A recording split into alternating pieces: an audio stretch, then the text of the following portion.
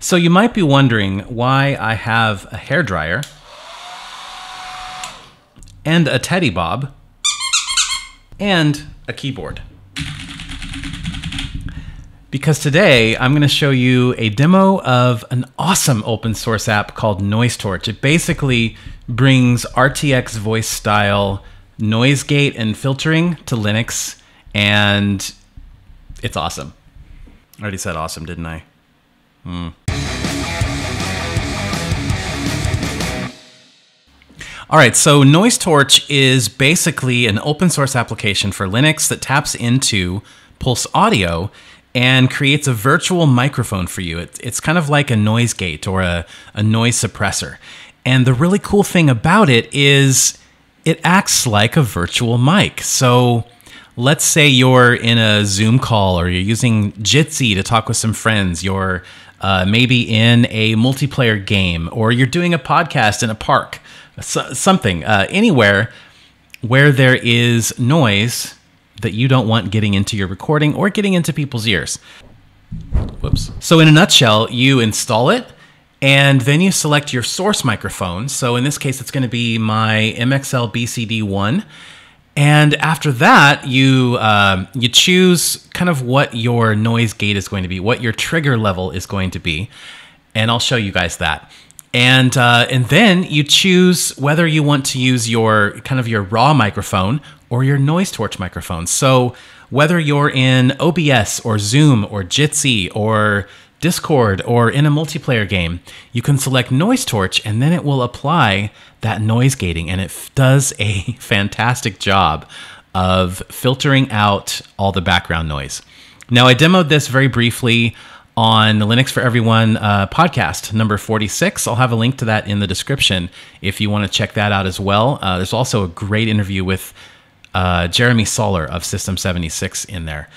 Uh, but what I wanted to do today is actually take you through an installation of NoiseTorch and then demonstrate it for you using some uh, various noisemakers. First step is going to be heading over to NoiseTorch's GitHub page, which is github.com slash L-A-W-L, that's a lawl, slash noise torch. And uh, you will have to go into the command line to get this installed.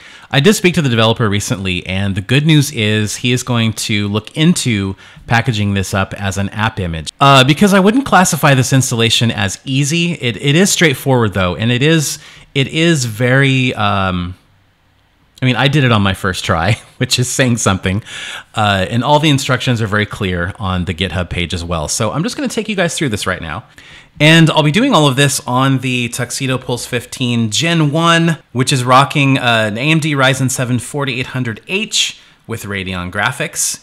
And it's got a one terabyte NVMe in there and 32 gigabytes of RAM. I'm, I'm really liking it so far. And I don't know if you can see, but uh, it's on battery right now.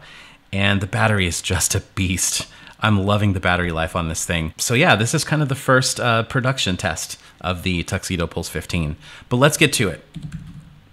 So our first step is we want to download the latest release, and that's going to be version 0.10.1. Okay, so let's move into our downloads folder where that file is. And we'll just double check that it's there. Yes, it is. Okay. So, tar-c into the home directory, xcf noise torch. And if you hit tab, it should autocomplete the, uh, the file. So boom, and that's done. Now we're just gonna do a quick refresh of the uh, GNOME icon cache. So you now have a NoiseTorch binary and desktop entry on your system. And now what we're gonna do is give it the required permissions. So sudo here, set cap, cap underscore sys underscore resource equals plus ep and then, whoops, and whoops. dot local slash bin slash noise torch. And enter your password and we should be good to go. You might not see the proper icon here until you log out. But it should still launch. And then if you log in and uh, log out and log in again, you'll you'll get the proper noise torch icon. All right, let the fun begin. So, first thing we're going to do is select our microphone if it's not selected. Okay, so filter microphone should be automatically on once you've got it installed. And you can see here uh, our U22 analog stereo, that's our Zoom U22 audio interface that is connected to the BCD1 microphone. Or we could go through the webcam, or we could go through the built-in mic here on the Pulse 15.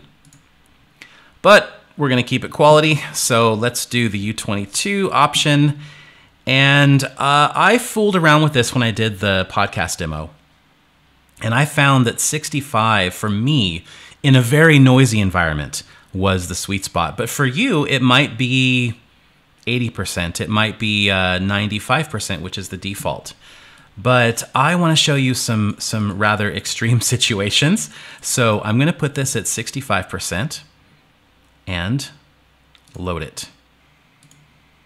Let's have some fun. We'll pull up OBS. And sorry for the uh, infinite uh, dark whatever you want to call that. Now, uh, OBS does have a noise gate feature, but the brilliant thing about this is it's a universal setting. So, uh, you know, whatever application you happen to be in, you just select the noise torch microphone. Here's what I'm to do now. I'm going to turn on this hair dryer.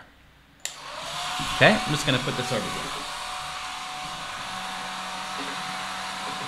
Now, no doubt you can hear that. Got our keyboard over here. I'm gonna just start typing, okay?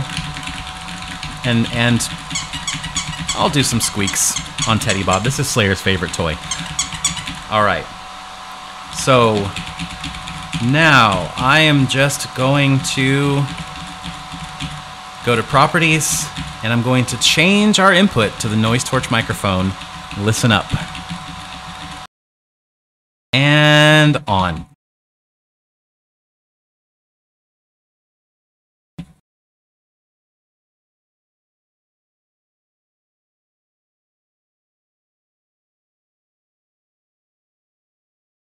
Total silence, I bet. Um, and now you're going to hear some of the noise being kind of muffled and and and tamped down a little bit while I'm talking. But uh, the brilliant thing about it is that when I'm not talking, when it's not being activated by my voice, it should be completely. And that's with a freaking hair dryer on. Okay. so uh, you can imagine how well it would do, like at a park, or if you know you've got some family in the other room watching TV or maybe on a conference call. Um, I don't know, your your dog's playing with Teddy Bob, something like that. Let's turn it back on now so you can hear again how much of a difference this makes. Very, very cool. All right, now I'm going to switch up this demo a little bit. Bear with me, I'll be right back. I'm going to use an app called Core Control, which is kind of an open source uh, utility for Linux that lets you have really finite control over your uh, AMD CPUs and GPUs. And yes, it even works with the brand new uh, 6800 series. So what I'm going to do is I'm going to use that app to crank up the fans on both of these GPUs to 100%. All right, so both of those fans are at 100%, and we have kind of the, the outdoor noise. There's uh, traffic out there. And now, let's just turn on Noise Torch again.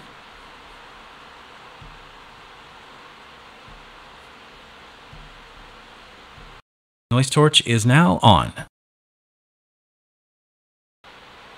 Do you see how much of a difference that makes? It's it's wild. It's absolutely wild. I love it. I'd really love to hear what your experience is with Noise Torch. Um, download it, give it a shot, try some fun things, uh, and tell me what your your specific use case is. I'm really curious to hear that, and I'm curious to hear how it works for you. So leave a comment, or uh, you can always email Linux for everyone at pm.me. That is Linux for everyone at pm.me. And if you dig it, star it on GitHub. Uh, he's also got a Patreon. Give him a couple bucks for some great software. So that's Noise Torch. It's excellent, it's effective, and it's open source and free. Thanks again to Tuxedo Computers for not only like helping out with this video, but sponsoring the entire network, all of our content. It's uh, it's it's a dream come true. So thanks, you guys. If you want to grab some Linux for Everyone merch, uh, we've got a US and a European store, depending on where you are.